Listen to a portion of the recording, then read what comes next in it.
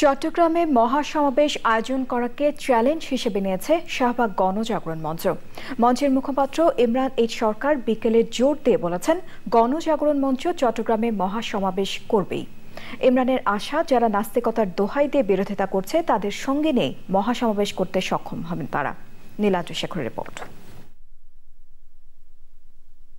পূর্বঘোষিত কর্মসূচির অংশ হিসেবে ১৩ মার্চ চট্টগ্রামে গণজাগরণ মঞ্চের মহাসমাবেশ অনুষ্ঠিত হওয়ার কথা ছিল। কিন্তু হেফাজতে ইসলামের পক্ষ থেকে গণজাগরণ মঞ্চের ওই মহাসমাবেশের বিরুদ্ধে নাস্তিকতার অভিযোগ এনে তা প্রতিহতের ঘোষণা দিলে চট্টগ্রাম প্রশাসন মহানগরীতে একশ চুয়াল্লিশ ধারা জারি করে।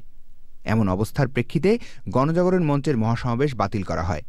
ইমরান সহ নেতারা চট্টগ্রামের দিকে রওনা দিলেও নিরাপত্তার কারণে তাদের ফিরে আসতে হয়। তবে চট্টগ্রামে মহাসমাবেশ অনুষ্ঠানের ব্যাপারে এখনও দৃঢ় প্রতিজ্ঞ গণজাগরণ মঞ্চ।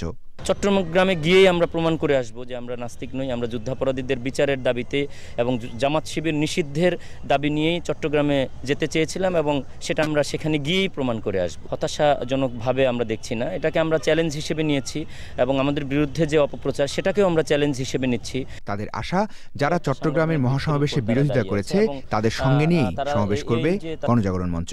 আমরা পরে পরবর্তীতে চিটাগাংয়ে সমাবেশ করব এবং সেই সমাবেশে আমরা চাই যারা দাবি করছেন যে যুদ্ধাপরাধীদের বিচার তারা তারাও চান তারাও একমত হবে এবং আমাদের সাথেই একই সাথে কণ্ঠ মিলিয়ে আবারও আমাদের সমাবেশে তারা এসে সেই কথাটি তারা বলবেন এবং তারা এই ঘোষণাও দিয়ে যাবেন যে যুদ্ধাপরাধীদের দাবিতে এবং জামাত শিবির নিষিদ্ধের দাবিতে গড়ে ওঠা গণজাগরণ মঞ্চ কোনো ধর্মের বিরুদ্ধে নয়।